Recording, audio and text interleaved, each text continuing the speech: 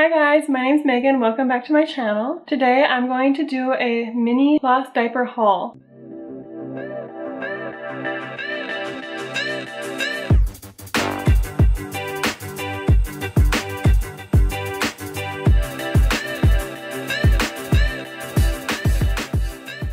Yesterday I went and picked up a bunch of cloth diapers. They're I got them from a lady nearby us. They're used, but they look like they're in great condition and I'm super excited to be trying some new brands. I have all these brands of cloth diapers that I really want to try, but I don't want to buy a whole pack of them unless I know they're good. Usually if you only want to buy one diaper out of a pack, it's pretty expensive, like $10 or something. So I was able to get all of these diapers for $5. So that is a pretty good deal for being able to only get one of each brand if I want to. So I got six diapers and a bunch of different like accessories. I got some liners, I got three different kinds of liners, and then I also got those waterproof wet bags. So first I have here this lime green.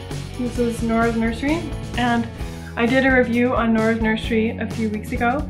So I already know that I really like them. This was the only Nora's Nursery that she had. So I figured since I already like them a lot, I might as well get this. And then this is an Alva Baby. It's got this cute feather print. And I've been really wanting to try Alva Baby in particular. So I actually got two of that brand. There's this orange one. This, well, I guess it's like a mustard yellow color. This is my favorite color, so I really wanted to get this one. This brand is Besto Baby, and it's got a lot of cute owls on it. I thought that was a pretty fun one. This one is Babygoal. That one is actually the same brand as this Binky clip. And I really love these Binky clips, so I really wanted to try that brand of diaper as well. But it has an elephant on the front and on the back. And this one is Kawaii Green Baby. And I actually had never heard of this one before, but it looks really cool and I really wanted to try it out. The, the outside is actually this really soft material. Most of the time they're just like kind of a like waterproof material, but this is like super, super soft on the outside. And then the inside is this charcoal material and it has a really big pocket that doesn't have cinching around both sides of the hole.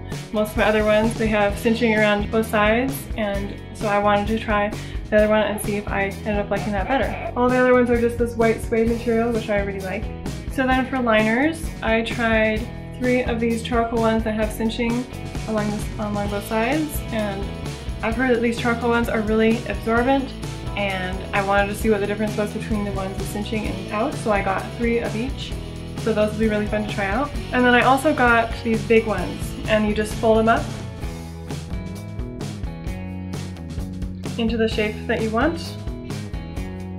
And you can put this inside your diaper, and a lot of people will sew these together in the shape that they want so they don't have to fold them every time.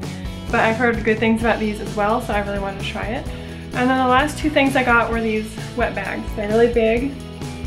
So you can just put these in like a, a trash can or a laundry hamper. And the inside is waterproof and it has two handles on each side.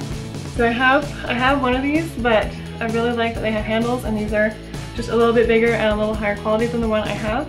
So I'm really excited about those. So that is all for this mini haul. I know that was probably pretty short, but I was really excited about getting all that stuff. I hope you enjoyed seeing this, and I post three new videos a week on Monday, Thursday, and Saturday, and I'll see you next time. Bye!